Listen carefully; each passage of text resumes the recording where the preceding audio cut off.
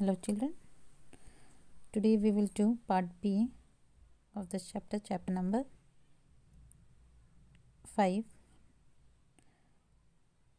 national movement towards independence okay कि independence के लिए जो मोमेंट्स हुए उसके बारे में हम इस चैप्टर में देख रहे हैं जिसमें हमने साइमन कमीशन के बारे में अपने प्रीवियस वीडियो में देखा कि किस तरीके से साइमन कमीशन को वापस भेजा गया अगेंस्ट प्रोसेशंस किए गए।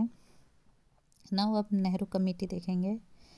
With the opposition of Simon commission Hindi वज़ीर बुरखेंड had presented a draft of the constitution as in Simon commission in which it state that the Indian leader of all parties formulated appropriate constitution which the British government will further think upon, कि जब Simon Commission का opposition किया गया, उसके against मतलब आवाज़ उठाई गई प्रोसेशंस किए गए, तब हिंदी वज़ीर ने ऐसा कहा कि मतलब जो सभी पार्टीज़ के, जो इंडिया में जितनी भी पार्टीज़ हैं, वो सभी, उनके सभी लीडर्स मिलके एक कॉन्स्टिट्यूशन तैयार करेंगे, जिस पर ब्रिटिशर्स को अपने विचार रखने होंगे।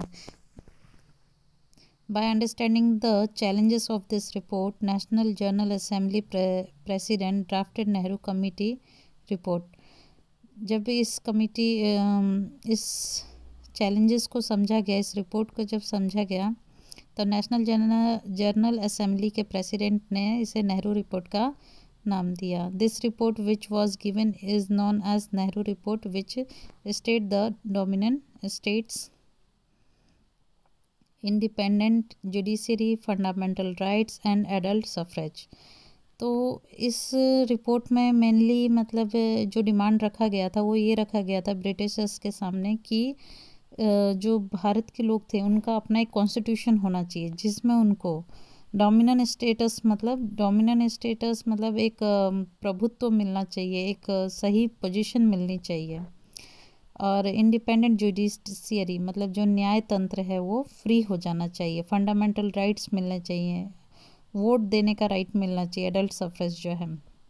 Eventually the British government rejected the recommendation made in this report but British government ने क्या किया कि ये जो रिपोर्ट तैयार की गई, इसमें जो भी डिमांड्स थे रिकमेंडेशंस थे, जो भी विचार व्यक्त किए गए थे, उसको रिजेक्ट कर दिया एक्सेप्ट नहीं किया।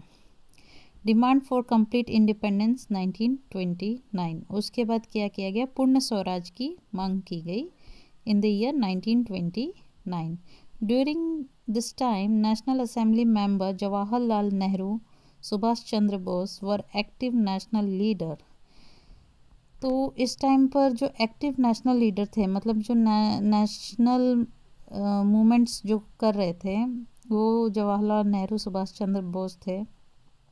जिनके द्वारा सारा कुछ किया हैंडल किया जा रहा था। They were the propagator of complete independence मतलब पूर्ण स्वराज के लिए वो क्या थे? प्रोपोगेटर का काम कर रहे थे। हर एक एरिया में घूमकर वो प्रोपोगेट कर रहे थे लोगों को बता रहे थे प्रचार कर रहे थे कि हमें पूर्ण स्वराज की मांग करनी चाहिए। Youth of India were not happy with the dominant status और जो यूथ थे जो यंगस्टर्स थे वो खुश नहीं थे। ये जो स्टेटस था उनका वो उस स्टेटस से वो खुश नहीं थे। जो ब्रिटिशर्स के द्वारा उन्हें दबाया जा रहा था on the bank of the river Ravi in Lahore under the leadership of Jawaharlal Nehru national general assembly pass a resolution of complete independence और फिर एक दिन क्या किया गया? रावी नदी के किनारे लाहौर में किन की लीडरशिप में? जवाहरलाल नेहरू जी की लीडरशिप में जनरल असेंबली ने एक रेजोल्यूशन पास किया कंप्लीट इंडिपेंडेंस का। After that on on twenty January nineteen thirty the member took the oath of complete independence and after that they all were took oath for independence okay for complete independence की twenty six January nineteen thirty को पूर्ण स्वराज का उन्होंने क्या लिया? शपथ ली। Since then January 26 has become memorable for all of us. इसलिए जनवरी 26 जो रहा, वो सबके लिए यादगार बन गया। Independent India has made the republic day memorable by implementing the constitution of India on this day और इस दिन को और यादगार बनाने के लिए इंडियन कॉन्स्टिट्यूशन में क्या मतलब इंडियन गवर्नमेंट ने क्या किया बाद में? कि इस दिन रिपब्लिक डे के रूप में मनाया गया क्योंकि उस दिन कॉन्स्टिट्यूशन को लागू किया गया था। मतलब और उसको यादगार बनाने के लिए रिपब्लिक डे के रूप में इसे सेलिब्रेट किया जाने लगा कि twenty six January nineteen thirty को इन्होंने कसम ली थी, जो भी प्रतिज्ञा ली थी और फिर twenty six January nineteen fifty को अपना कॉन्स्टिट्यूशन इम्प्लीमेंट किया गया ताकि ये दिन और यादगार हो सके। तो इस तरीके से ये लीडर्स ने वर्क किया। इन कंप्लीट इंडिपेंडेंस के लिए। डांडी यात्रा from March twelve to April 1930 okay तो अब देखेंगे डांडी यात्रा के बारे में। As a part of civil disobedience movement obedience movement Gandhi ji decided to go to Dandi village by its sea coast to break the salt law तो जो civil disobedient movement था, उसके अंतर्गत गांधी जी ने ये डिसाइड किया कि वो डांडी जाएँगे, डांडी गाँव में जाकर उसके सी कॉस्ट पर सॉल्ट लॉ को ब्रेक करेंगे। On the of eleventh March evening in the assembly of thousand of people the message of satyagraha was send तो इलेवेंथ मार्च को इस सत्याग्रह के बारे में सबको बताया गया। If people got arrested with form determination of non violence struggle against movement struggle against government continue कि ऐसा कहा गया कि अगर लोग अरेस्ट भी होते हैं तो भी वो अहिंसा के साथ अपना जो मूवमेंट है वो कंटिन्यू रखेंगे सरकार के सामने। On twelfth March 1930 under his leadership Gandhi ji commence Dandi यात्रा with his supporters from Harijan Ashram now Gandhi आश्रम सिंगिंग द हाइम वैष्णो जन तो तेने रे कहिए जे पीठ पर आई जाने रे गांधी जी सेड इन डांडी यात्रा nine twenty ninth March nineteen thirty I shall die the death of crow and dog but I will not return to this ashram without attaining Purna Swaraj फिर गांधी जी ने क्या किया? ऑन ट्वेल्थ मार्च 1930 को उन्होंने अपनी leadership में अपने supporters के साथ डांडी यात्रा शुरू की। कहाँ से शुरू की? हरिजन हरिजन आश्रम, जो आज गांधी जी आश्रम के नाम से जाना जाता है। और ये गीत गाते हुए वैष्णो जन तो तेने रे कहिए, जे पीठ पर आई जाने रे। गांधी जी सेड कि गांधी जी ने ऐसा भी कहा कि दांडी यात्रा जो उन्होंने nine twenty nine March nineteen thirty को स्टार्ट किया तो हो सकता है इस सत्याग्रह के दौरान उनकी जो डेथ है कौए की तरह या डॉग की तरह हो जाए, बट वो तब तक आश्रम वापस नहीं आएँगे जब तक उन्हें पूर्ण स्वराज प्राप्त नहीं होता। कि उनका ये मानना था कि जब तक पूर्ण स्वराज नहीं होगा, मैं इस आश्रम में अब वापस नहीं आऊँगा। ये मतलब मन में ठान कर उन्होंने डांडी मार्च जो है, डांडी यात्रा शुरू की। Brave never run away from struggle the one who run by seeing the struggle is not brave Gandhi ji का ये कहना है कि जो बहादुर लोग होते हैं, वो संघर्ष को देखकर पीछे नहीं हटते और जो हट जाए, वो बहादुर नहीं होते। Gandhi ji along with his supporter started the Dandi march Gandhi ji ने अपने सपोर्टर्स के साथ डांडी मार्च शुरू किए। This march was 370 kilometers which included Aslali Bareja Nadiad Anand Boriavi Ras Jambusar Bharuch Surat Navsari as well as a small and large region तो ये जो 370 kilometre की जो यात्रा थी, इसमें ये सभी गाँव, बरेजा नड़ियाद असली बोरवी, ये सभी गाँव आ रहे थे और साथ ही साथ बड़े और छोटे रीजन कई रीजन्स को वो लोग क्रॉस करके डांडी पहुँचे।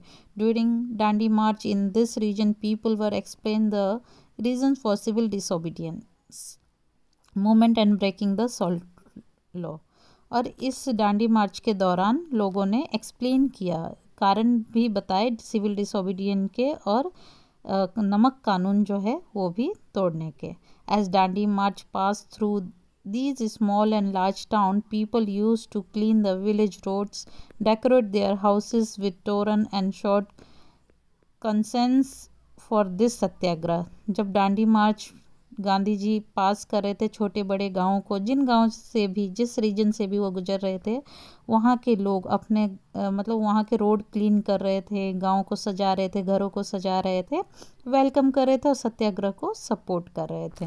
Dandi Yatra had a wonderful effect in creating astonishing faith unity and consciousness among people Dandi Yatra जो रही, एक सफल मतलब बहुत ही इफ़ेक्टिव रही लोगों को जागरूक करने के लिए all of the nation was having a wave of satyagraha और एक लहर की तरह दौड़ उठी पूरे नेशन में। Gandhi ji along with his colleague and supporters reach Dandi after twenty four days of march fifth April 1930 जब जो उन्होंने मार्च में स्टार्ट किए तो वो फिफ्थ अप्रैल को आफ्टर ट्वेंटी फोर डेज़ वो 1930 को रीच किए डांडी के डांडी गाँव में। On early morning of April six Gandhi ji broke the salt law by picking a hand of salt from the sea coast twenty four days के बाद जब गांधी जी डांडी पहुँचे तो उन्होंने सिक्स वो फिफ्थ को पहुँच गए थे but early morning six April को उन्होंने अपने हाथ में जो डांडी के सी कोस्ट पे पहुँच के अपने हाथ में नमक लेकर नमक कानून ब्रेक किया। In aloud voice Gandhi ji state I have broken the salt law और बड़ी ज़ोर सी आवाज़ में उन्होंने कहा कि मैंने नमक कानून तोड़ दिया। And while addressing the people gather there he uttered मतलब लोगों को एड्रेस करते हुए मतलब जो वहाँ पे उनके कलीग्स थे, जो सपोर्टर्स थे, उनके साथ उन्होंने ये कहा कि मैं आज नमक कानून तोड़ रहा हूँ। By this event employing salt to the foundation of building in the form of British empire कि गांधी जी ऐसा बोले कि जो ये ब्रिटिश एम्पायर है, जो ये बिल्डिंग खड़ी है, जो फाउंडेशन है ब्रिटिश एम्पायर का तो आज इस का मतलब नमक कानून को तोड़ते हुए मतलब इस इवेंट के बाद गांधी जी ने ऐसा कहा, नमक कानून जब उन्होंने तोड़ा, उसके बाद उन्होंने कहा कि जो ब्रिटिश एम्पायर है, उसका जो फाउंडेशन है बिल्डिंग है, उसकी न्यू में मैं क्या कर रहा हूँ? नमक डाल रहा हूँ। Shri Mahadev Bhai Desai has compare this event as महाभिनिष्करम तो महादेव भाई देसाई जो थे, उन्होंने कंपेयर किया इस इवेंट को महाभिष महाभिनिष्करम से the great renunciation renunciation means एक त्याग देना। मतलब उन्होंने कहा कि ये इवेंट के मतलब एक बहुत बड़ा त्याग है। इस इवेंट को उन्होंने कंपेयर किया। Journalist photographers writer historians of India and across the world visited and publish report about what they witness in their own newspaper and booklet. जो ये फोटोग्राफर्स थे जर्नलिस्ट थे राइटर्स हिस्टोरियंस इतिहासकार, जो भी लोग थे इंडिया के हों, चाहे वर्ल्ड के हों, वो लोग आए और उन्होंने मतलब न्यूज़पेपर में ये सब कुछ पब्लिश किया। जो भी उन्होंने अपने न्यूज़पेपर में देखा या दूसरी न्यूज़पेपर्स बुकलेट्स में देखा, वो सब कुछ पब्लिश पब्लिश किया। In this way the Dandi Yatra which started from Sabarmati Ashram on 12th March was nationally acclaimed, achieved its physical completion, but it started applying salt to the foundation of building in the form of British. इस तरीके से जो डांडी यात्रा शुरू की गई थी twelfth March Gandhi आश्रम से वो एक पूरी तरीके से राष्ट्र के तौर पर जाने जाने लगी और उसने अचीव भी किया फिज़िकली कंप्लीशन हुआ उसका। But started applying salt to the foundation और ये उसने क्या किया कि जो ब्रिटिश एम्पायर था, उसका जो फाउंडेशन जो उसकी बिल्डिंग थी, उसमें एक तरीके से नमक डालकर खोखला करने का काम किया इस इवेंट ने। Civil disobedient movement generated new national consciousness among people of India अब ये जो सिविल डिसोबीडियंट मूवमेंट जो चल रहा था, उसने लोगों को एक नए तौर पर जागरूक किया राष्ट्र के लिए। The British police beat them mercilessly और जो ब्रिटिश पुलिस थी, उन सब लोगों को, सत्याग्रहों को, सत्या, जो लोग ने लीडर्स थे, उन सबको बुरी तरीके से पीट रही थी। Lathi charge, arrest, shooting and operations on women and children continue but agitation did not decrease कि उन्होंने लाठी चार्ज कर दिया, लोगों पे अन्याय करने लगे, अरेस्ट करने लगे, शूट करने लगे मतलब हर तरीके से दबाने लगे हर एक मोमेंट को बट फिर भी लोगों का जो था एगिटेशन जो था वो कम नहीं हुआ है। कि एजिटेशन मीन्स आंदोलन, व्याकुलता, लोगों में आंदोलन में कोई कमी नहीं आई, वो लोग ऐसे ही आंदोलन करते रहे। सो so डियर आज के इस वीडियो में हम यहीं तक देखेंगे। नेक्स्ट वीडियो में हम चैप्टर को फिर से कंटिन्यू करेंगे। आई होप कि आप लोग चैप्टर अच्छे से समझ रहे होंगे। Thank you